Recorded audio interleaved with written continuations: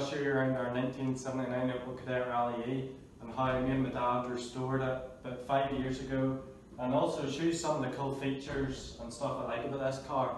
But before we get started, I'm going to give it a quick wash because it's been inside for the past maybe six months.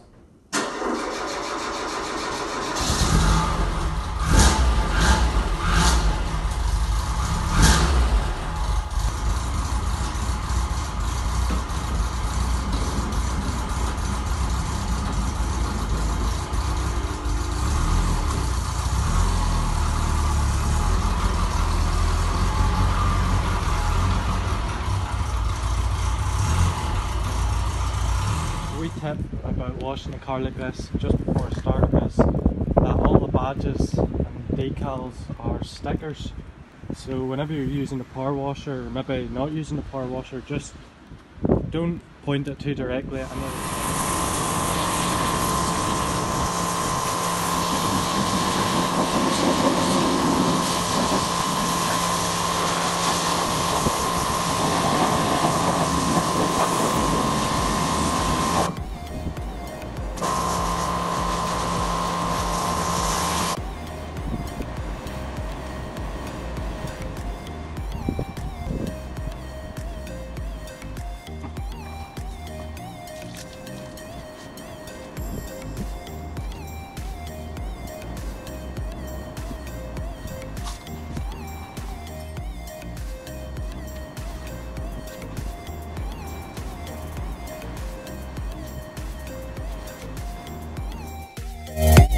start talking to you is about how me and my dad restored this car and also some of the key features and quirks of it.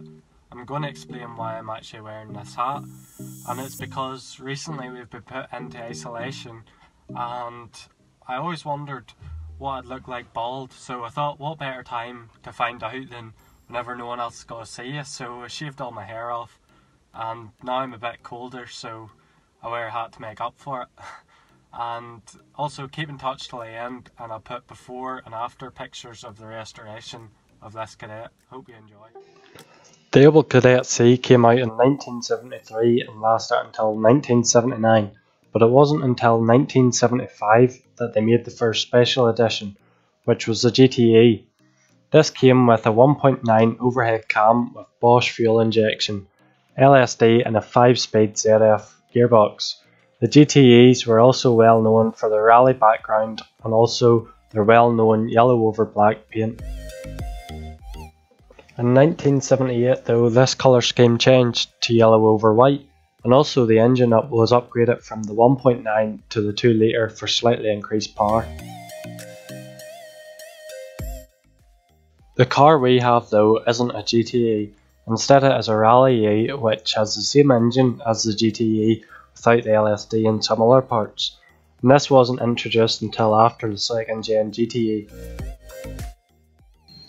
This particular car is one of the last as it is a 1979 model and is notable for being right hand drive as both the Rally-Es and GTEs before it were only ever produced in left hand drive, but a small number were converted post production for the UK market by Tony Falls Developments operated by the famous BMC rally driver turned Opel competition manager.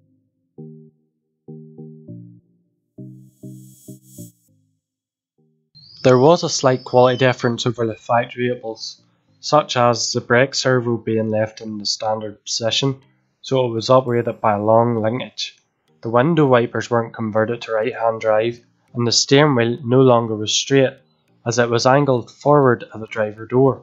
But this was the only way to get a new Rally E back then, and I haven't found out any information on how many were made by Tony Fall, but I know there wasn't many, as there are only two Rally E's registered in the UK now and only three GTEs. There are two quick, easy ways to see if it is a genuine Rally E. The first is all Rally E's have the number 13 stamped on the boot floor, and secondly, the dash reads Tony Falls Developments. My dad found the car when he was out looking for cassette parts for another project we'd done. It lay in our yard for about a year as we gathered parts including the new yellow and black seat trim, new original doors from Germany and an original GM wing from Serbia. I will now show the before and after pictures and please hit the subscribe button if you like this review.